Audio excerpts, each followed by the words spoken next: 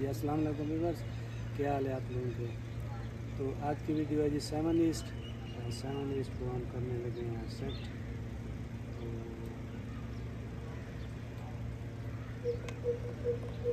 Seven east के करते हैं सेटिंग तो ये सेवन ईस्ट की आ, सेटिंग है। ठीक है बिल्कुल ये नीचे की तरफ़ इसका रुख होता है। ये आप देख लें कि इस तरह से। ठीक है? और यहाँ से भी देख लें। बिल्कुल ज़ीरो पे समझें कि ये आ गई है हमारे पास। और ये स्केलिंग भी पोजीशन देख लें। ये स्केलिंग भी पोजीशन इस तरह से है। ठीक है? तो चलते हैं फिर टीवी की तरफ़ और इसको स्कैन करते हैं। तो टीवी के पास आ गए हैं सेवन ईस्ट यूटल सेट की सबसे आसान टीपी ये वाली है। दस हज़ार सात सौ इक्कीस और सिंबल एट है इसका बाईस हज़ार इक्कीस नौ नौ एच में। ठीक है तो जो सेटिंग के लिए ये टीपी इस्तेमाल करके आप सिग्नल रिसीव कर सकते हैं। काफ़ी अच्छा सिग्नल होता है इसका। तो इसको फिर करने लगे हैं हम ब्लाइंड स्कैन ठीक है ब्लाइंड स्कैन करने लगे हैं और आपको दिखाते हैं कि आज फिर कितने चैनल हमारे पास रिसीव होते हैं। तो ये देखिए टीपी आना शुरू हो चुकी हैं। और ये टाइम डेट देख लें बिल्कुल लेटेस्ट वीडियो तो यहाँ पर 11 टीपी मेरे पास आ चुकी हैं और स्कैन तकरीबन 100 परसेंट हो गई है। तो seven is Eutelsat European satellite है। और मेरे ख्याल है कि यही एक सेटेलाइट है जो कि दो फिट पर आप रिसीव कर सकते हैं।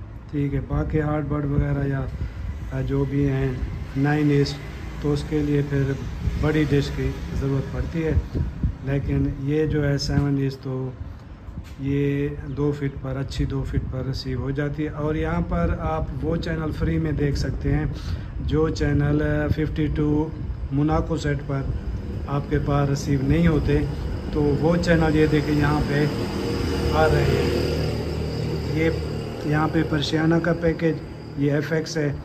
तो यहाँ पर मुझे चैनल मिले हैं टोटल बयालीस। तो टोटल चैनल मुझे मिले हैं बयालीस, ठीक है, और आपको दिखाते हैं कि यहाँ पे कौन कौन से चैनल हैं। तो वैसे अगर आपने फुल रिसीव करनी है तो यहाँ पर काफ़ी सारे और भी चैनल हैं, ठीक है। तो उसके लिए फिर आपके पास चार से छः फिट की डिश होनी चाहिए तो फिर आप बाकी चैनल भी रिसीव कर सकते हैं, क्योंकि कुछ टीपी हैं जिनका सिग्नल वीक है तो उनके लिए फिर बड़ी डिश की ज़रूरत पड़ती है।